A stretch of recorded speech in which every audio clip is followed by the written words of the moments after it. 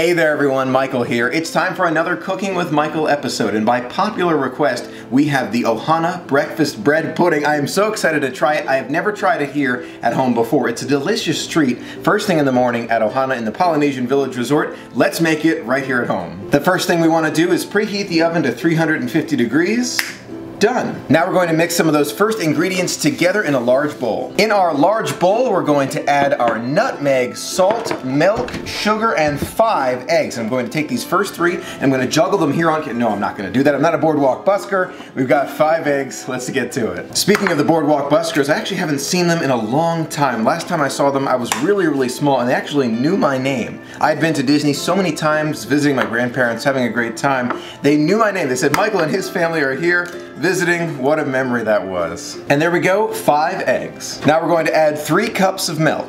And there's three cups of milk. Now the recipe calls for one half teaspoon salt. You can find the full recipe in the description of this video. But I'm gonna just put in just a hint of salt just like that, all set to go. I'm not sure why I do that with the salt and just put a pinch in. I think I've just learned it over time. Now we need half a teaspoon of nutmeg. There we go. Now it's time for the sugar and we need one and a half cups. Now we're going to blend our ingredients together, not too much, but just enough until they're combined.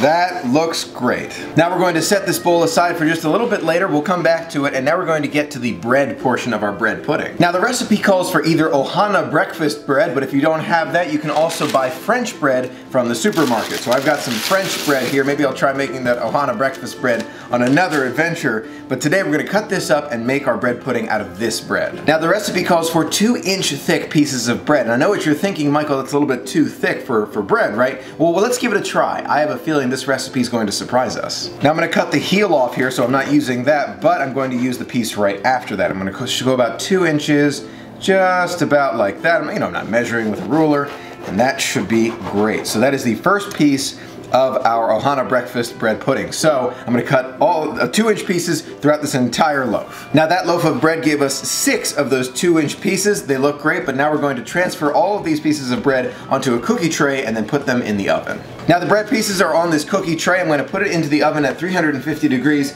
but at first I'm thinking to myself, that, that doesn't make any sense. You're gonna bake them and then try and soak up that egg and milk mixture, but I'm gonna give it a try. I'm gonna full and honest try here. So it, the recipe says they should be lightly golden brown brown toasted, just under toasted. So if I think 15 minutes is too long, I'm gonna cut it short. But let's go give this a try. Into the oven they go. It's been about 13 and a half minutes. They look golden brown, absolutely perfect. So you gotta keep an eye on them, but wow, they, they turn out really well. Now we're going to move on to the next step. Now that our bread is lightly toasted, we're going to grab our egg and milk mixture, bring that back into the picture, and grab this 10 inch baking pan that I greased in advance. So we're all set to do something very interesting. What we're going to do is take each piece of bread and actually dunk it into this egg and milk mixture. You can use your fingers or you can use a fork and just push it all the way down in there, let it get fully saturated. And then what we're going to do is put this piece of bread onto this tray. Now what you're going to see me do is actually pour all of this liquid on top of these pieces of bread. We're gonna do that in just a minute. And you might be asking, Michael, why do you need to do that? The reason is we want it on top. I'm gonna show you what I mean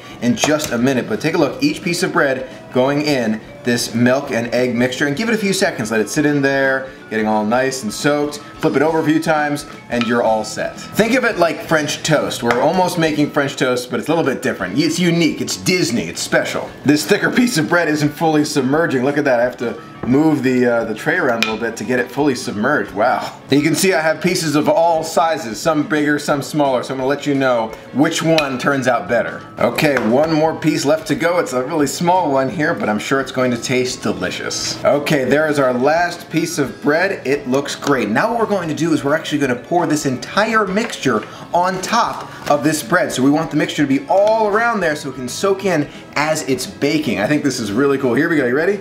There, oh my gosh, spilled a little bit, but we're still good. Going right on top of all of them. Look at that, that looks delicious. You want it to go everywhere. Just in the in the pan, in the pan. We want it to go everywhere, but wow.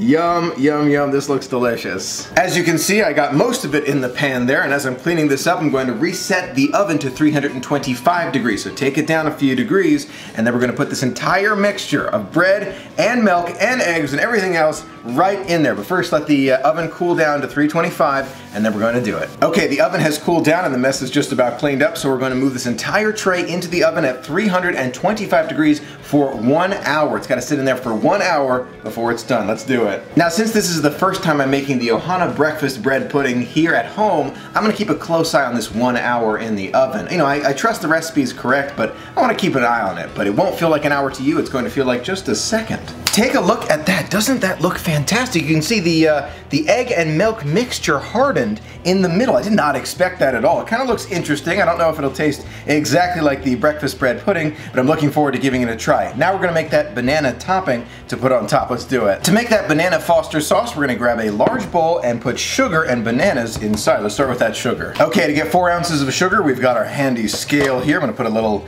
cup right on top and we're gonna go for four ounces. Okay, four ounces of sugar. Okay, now we've got four ounces of brown sugar along with four ounces of corn syrup. We're gonna put it into the mix right here. Now we're gonna put in four ounces of butter. After the four ounces of butter, we're gonna put in half a cup of heavy cream. Just like that. Now we're going to mix it up and then we have to put it on the stove to heat it up. Okay, here we go.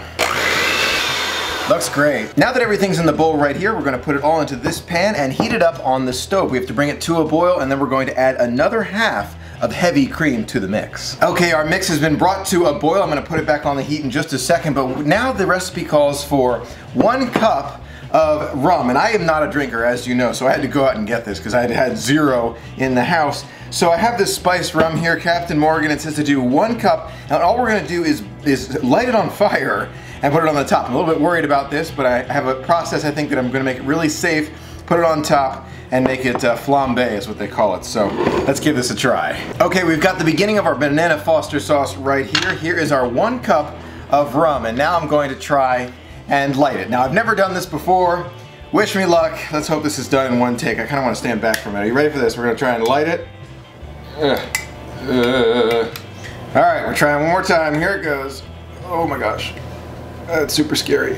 Six and a half hours later. Now I tried everything, just about everything. I tried heating it up, putting it on a small dish, putting a little bit out. I can't light this on fire. I don't know, I have to find some kind of different rum to flambe Disney items with, so that'll be on a future Cooking with Michael, no doubt about it. But now, we're gonna do something different. We're gonna take the um, bread pudding right there. We're gonna put it on this plate by flipping it over. You ready?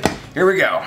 There it is. Wow, that came out far better than I thought it would. Wow, that is truly incredible. Take a look at that bread pudding. I am so impressed. Are you seeing this? Take a look at that. That is extremely impressive. It really looks like the bread pudding from Ohana. Let's grab that sauce and pour it on top. Now I'm gonna take a few pieces off of this larger chunk here so we have enough room for that sauce. We can pour it right on. So here's a nice big old piece right there. That looks absolutely delicious. Let's scoot this one right over there. That looks great. Now let's pour the sauce on this one, then I'll pour the sauce on the rest of them. Okay, here's a little bit of that sauce, very warm right from the top of the stove. Wow, that looks delicious. Look at that. It's not flambéed, I understand that, but I have a feeling it's still going to be great. I'm gonna show you this, take a look. Doesn't that look incredible? I mean, absolutely incredible. I'm so impressed with how this turned out. Now we have to add our banana, of course. I'm gonna peel it here and cut a few slices to put right next to it. Then we're gonna add some ice cream because you need that ice cream with this bread pudding. It's a must, an absolute must. Let's get to it. Okay, here we go. Ice cream, banana, and bread pudding. Bon appetit. Wow, that is absolutely incredible. I cannot recommend that highly enough. It tastes just like the bread pudding. I will be eating this for a few days to come, you can be reassured. And I guess calories from Disney recipes don't count, can we say that? Thanks so much for joining me for another Cooking with Michael. It was a lot of fun to share it with you. Let me know if you give it a try in the comments below. Thanks so much for being a part of the magic with me. Until next time, have a magical day.